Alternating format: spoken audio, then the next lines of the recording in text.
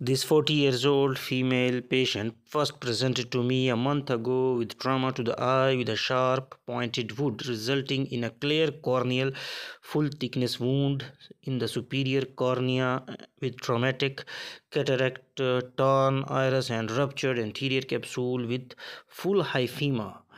So I drained the blood and repaired the corneal wound you can see and decided to perform cataract surgery on the later date.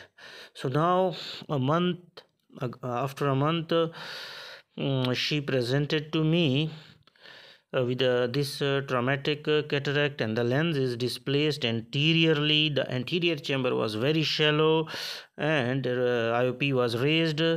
So I decided to perform cataract surgery. I gave her 2 cc peribulbar anesthesia and now making uh, the main port with 2.75 phaco knife at 9 o'clock exactly at the location of previous surgery paracentesis port slowly and gentle gently uh, enter the anterior chamber. Make sure not to touch the capsule or endothelial. Stain the capsule with trypan blue and remove uh, the dye. And uh, you can see the anterior capsule is torn at multiple places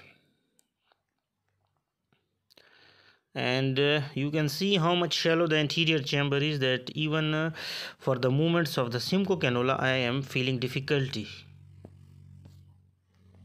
Now put viscoelastic uh, to deepen the anterior chamber.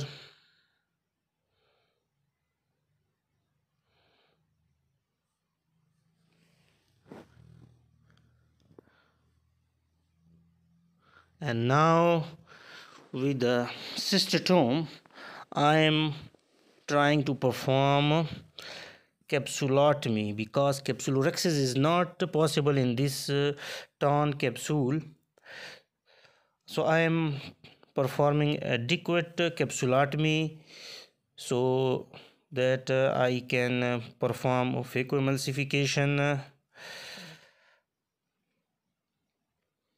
you can see that uh, there is a fibrosis of the anterior capsule as well. And the whole length is shaking while removing the anterior capsule. But I am trying to remove as much of anterior capsule as possible so that when I perform phaco I should not uh, pull the edge of the anterior capsule and now with the help of Simcoe cannula I am aspirating the anterior lens matter uh, to clear the view to improve the visibility and to clear the anterior capsule margins. Now you can see that the view for work uh, for phaco is clear. Now again put viscoelastic uh, to make some room and make a side port at 3 o'clock. And with phaco settings 40 power 300 vacuum and 25 flow. I gently entered the phaco probe into the anterior chamber and second instrument and started phaco emulsification. Now in such cases the second instrument handling is uh, very important I am not sure at this moment that whether PC is intact or not but I am hopeful that it will be. So that's why very slowly and gently I am rotating the pieces with the second instrument and emulsifying with phaco.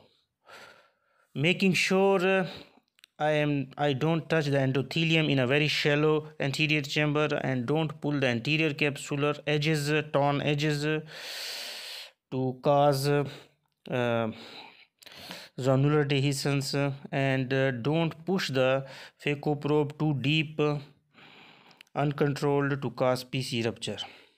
So as the anterior chamber became too much shallow, I, shallow, I came out and again putting viscoelastic.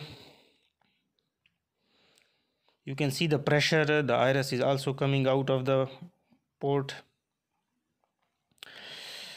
so you can see such a shallow anterior chamber that I am putting when I am putting the second instrument iris is coming in the way. So just uh, closely observe the handling of the second instrument uh, that uh, I am not moving phaco too much uh, but with the second instrument uh, I am uh, giving the pieces to the phaco so that it could it emulsify and aspirate.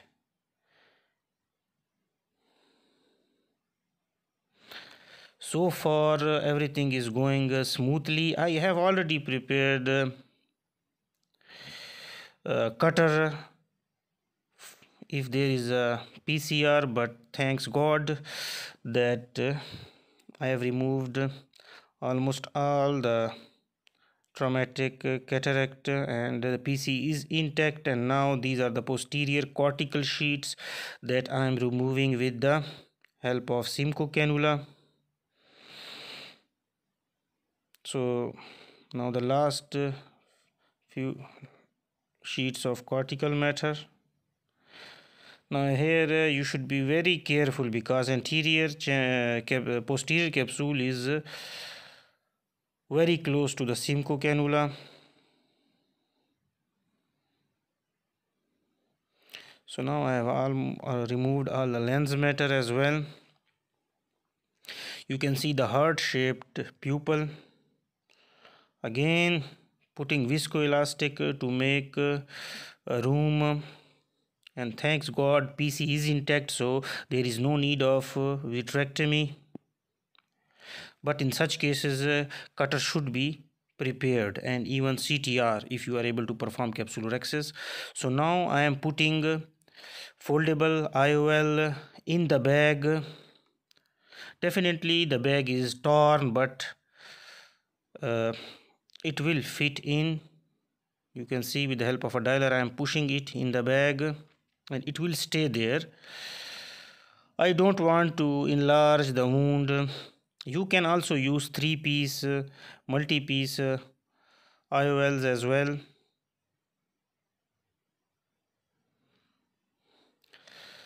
So in such cases uh, you don't know whether there is a support or not. So you you should have a rigid uh, IOL as well as uh, anterior chamber IOL with you as well as a scleral fixation IOL with you. I had all these. And now I am removing all the viscoelastic in the anterior chamber. And now through a slit lamp I am showing you the red reflex. And you can see the corneal stitches and the case went very well. Thanks to God. And hopefully this patient will regain good vision. Thank you for patient viewing